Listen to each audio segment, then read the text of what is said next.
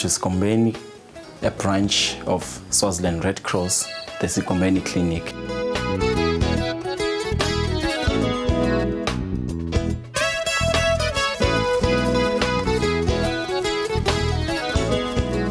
When I came first here, it was a difficult time because the stigma of HIV AIDS was so huge. You couldn't see it at first when you are at the malls, but as soon as you contact people, you could see almost everyone, every weekend was on a funeral. So we have to try and to make programs not only on the level of the clinical aspect, but also on the psychosocial aspect. But now people are actually realizing that HIV is there and it is important that if you are HIV positive or you must know your status and if you, you, you know that you are HIV positive, then you've got to take treatment because there is no other way.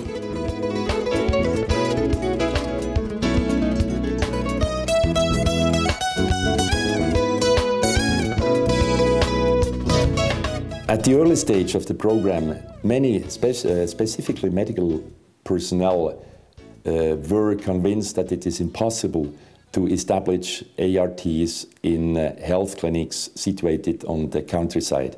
But uh, our idea was, and still is, that whenever we want and we try to uh, tackle these uh, huge health problems in southern Africa and other places of that world, we have to bring the possibilities of testing, counseling, and therapy to the people in the villages.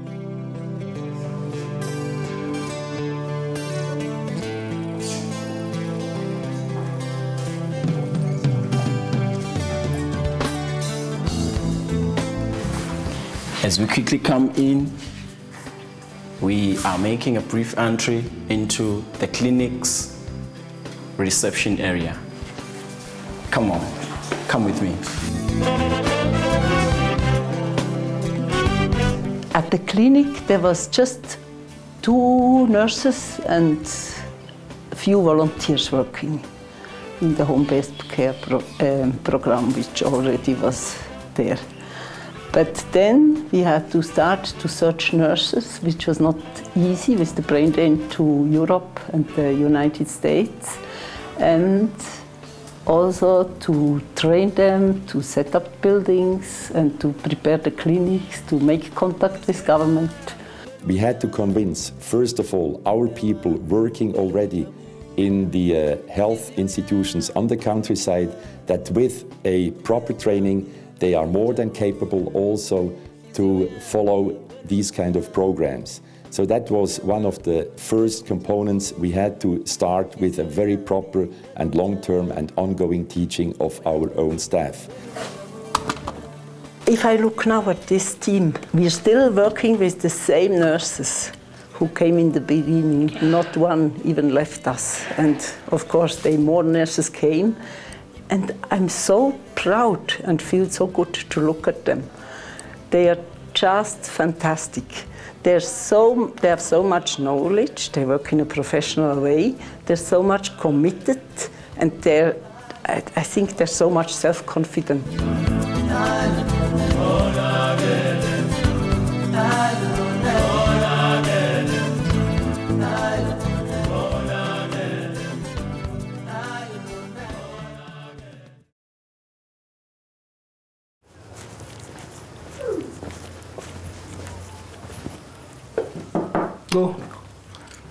Five years ago, there had been many, many people suffering from HIV. They had been living in their uh, villages out on the countryside, and we had to offer whenever at this stage we could not give them the ART, which makes nowadays, as fortunately we all know, makes a normal life possible.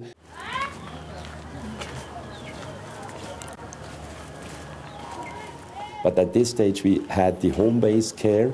That means uh, we also had to look after the people who were too late to come to the program and therefore were dying in their own villages. So we established with the, uh, a lot of very engaged volunteers of the Red Cross that they go for the villages for home-based care. sikhona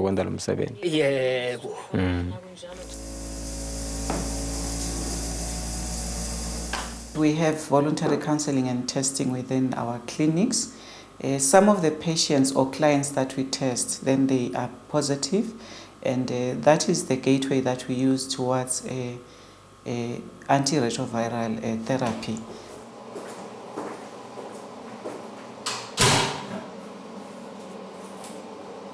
And at the early stage of the program, we could not offer the people uh, the necessary treatment. So many, many of them said, Why should I go to the lab? Why should I get to know that I'm positive without getting the chance for the ongoing treatment, which is absolutely necessary? I mean, people have been encouraged because they can actually see what we have been doing. They can see uh, some people, you know, within their communities that have been sick and they've taken up the service and they can actually see improvement. So it's more easier now to talk about HIV and to introduce HIV to a client, maybe as a nurse, to say, can you offer the test? Before it was a bit difficult because, you know, there were so many uh, beliefs about the whole thing.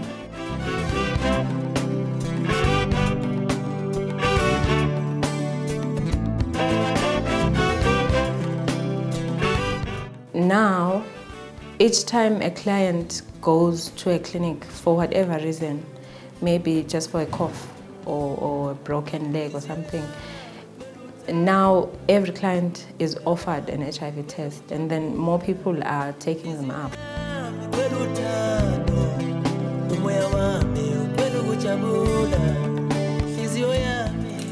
So, also kids are affected by the issue of HIV/AIDS as well. When it comes to ART, they are also on ART. So this is where we keep the pediatric or that for kids. So before the client is started on ART, we have to assess if the patient is actually eligible for starting ART. That is, uh, we check the CD4 count, uh, and then we also have the clinical staging, which is a, a guideline from WHO. And if the client is actually um, eligible, then we prepare the patient for, for ART. That is the therapy.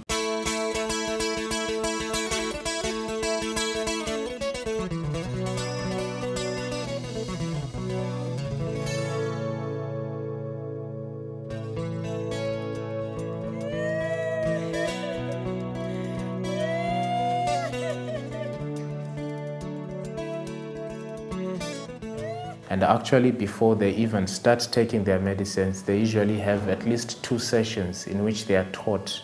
And also, there is a session in which the patient and the health worker they discuss why they are taking the medicines and how they should take the medicines. But then it is important that the patient is ready mentally uh, or psychologically that this is a lifetime uh, uh, treatment. sokungathi sokungcono ukuthi so ukuthi sekuvuvuka Sekuvuvuka. Kuyavuvuka manje. Okay. So this is Notando. She's 12 years old. When we got the results back, um, the CD4 was quite low. And in view of the opportunistic infections that she has, like the rashes, the warts on the face, the diarrhea, the coughing, the abdominal pain, um, it was decided that we put her on antiretroviral therapy. Okay.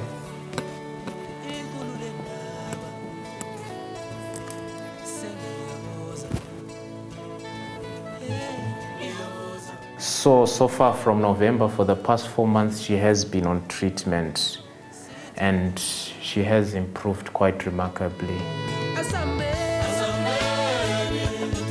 The number of markings that have been made indicate the number of tablets that have, have been taken. And if a patient is supposed to come and collect their medicines and they don't come to pick up their medicines, they are also followed up at home to find out if they are having any problems with the medications or maybe they are too sick to come to hospital. nyathi buhlungu. Funa kuthi next week na uta uphindze futhi uyikhulume le ndzaba. Nababhala mhla ka-12 ka-12 sokwendlula So the counting and the ticking in the appointment book really help us make sure that the patient is taking the drug. For lalawa. Sawabeka saloqhubeka nalawa ngoba udetfele. Mm. I was telling the patient the importance of adhering on the medication. We had to count the number of days she had gone with the medication, comparing it with the number of the pills in the container to see if it corresponds.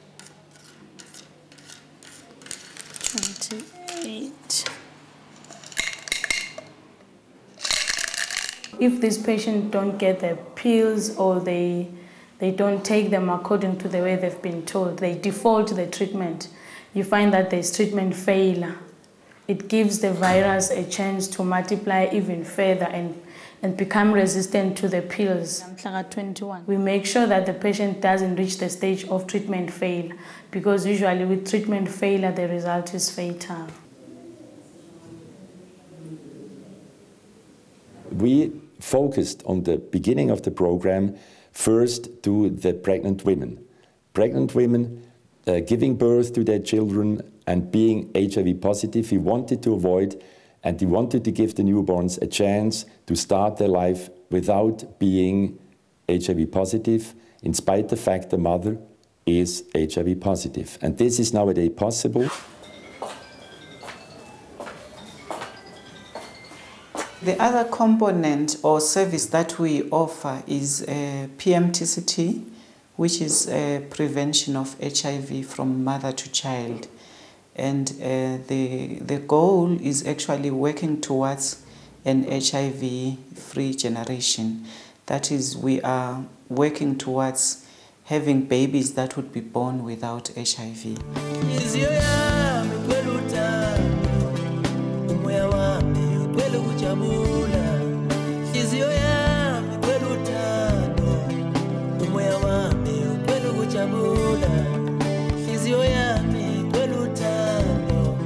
But then the other thing that we now know is that children, if they are not diagnosed early, if the HIV infection is not picked up early and put on treatment, we know that by the end of their first birthday, if nothing is done, about half of them will be lost to the disease. They would actually die. And if the mother is tested positive, then we offer them the prophylaxis treatment depending on the CD4 count.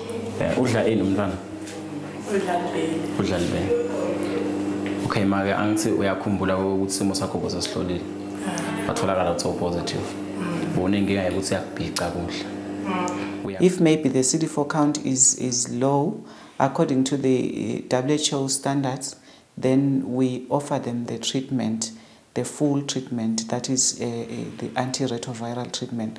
But then if the CD4 count is average, then we will be offering prophylaxis treatment so that we prevent or we make sure that the virus is, is lowered in the body.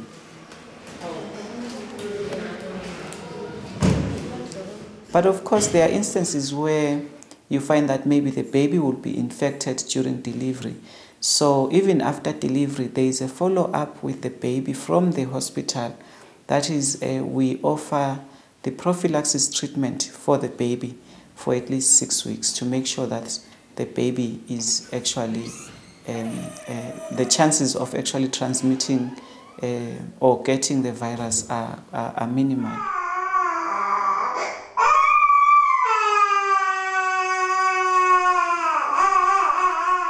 Most of the time, if we have given the treatment uh, or the prophylaxis treatment, then most of the babies have tested negative at six weeks.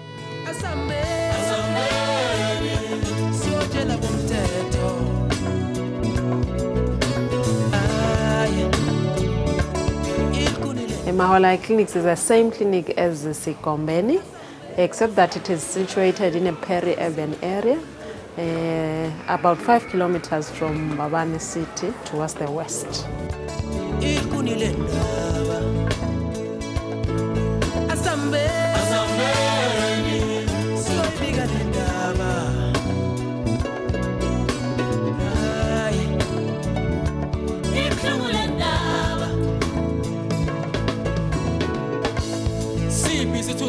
The problems that we encounter with our clients in this peri-urban area is that uh, they don't have much, they don't have land at all to cultivate, so food security problems are an issue at ngayo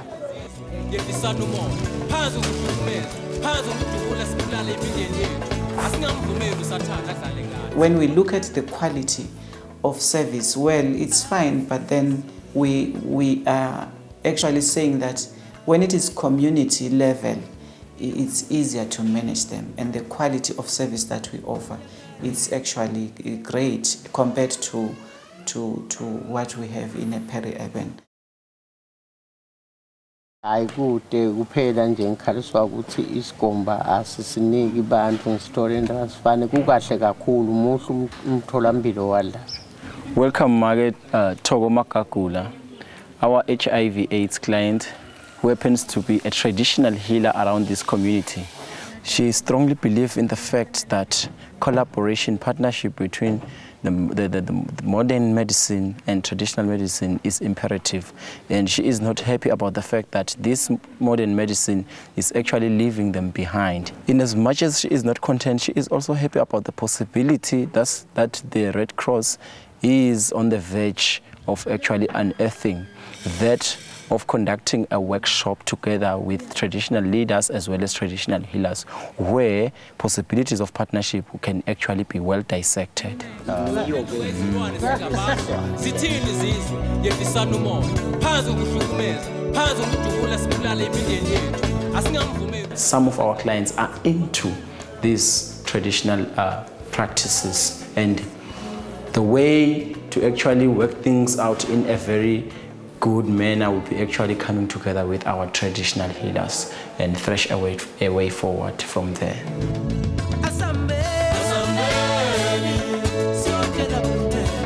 HIV has become a chronic manageable disease, at least that brings some smile to our faces.